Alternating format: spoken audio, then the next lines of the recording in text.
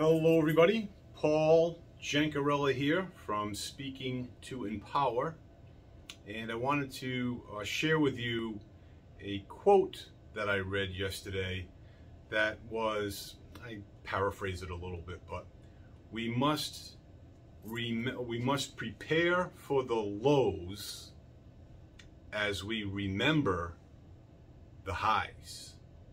Uh, other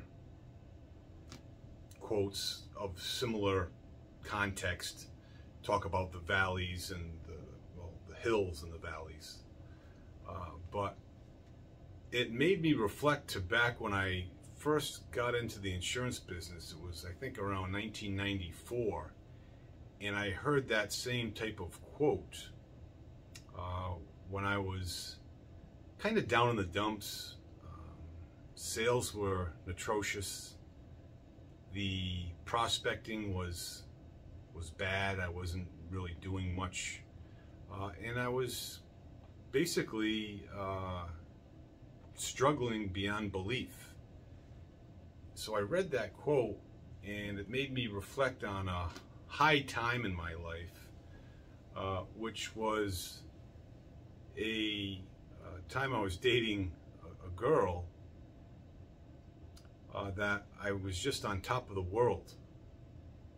And then I started to get depressed as I brought in those good feelings because, you know, the relationship ended for whatever have you. And I got bummed out until I realized that you need to um, use your memory in the good times, in the high times, that emotion is what you remember.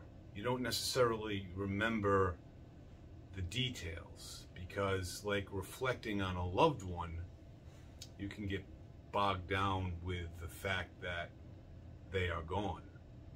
So you need to bog yourself down with the aspect that the memories and the emotion that that memory uh, provided. Once you get the hang of it, it certainly will help you a great deal. Uh, incidentally, Theo is is at my feet, just lounging around, which is uh, uncharacteristic but appreciated. Uh, he, my wife thought it'd be a good idea to have a blanket in my office, and I wish I could show you. It's it's down here but if I tilt the camera, you really can't see it. It's shredded. To shreds, the blanket is shredded. Uh, and I guess he doesn't care to have a blanket. Just the throw rug that I have in the office is fine for him. So uh, I'd like to leave you with the fact of remember and prepare for the highs and the lows. When you're in the lows, remember the highs. When you're in the highs, prepare for the lows. Have a good day, everybody. We will talk to you next week. Bye-bye now.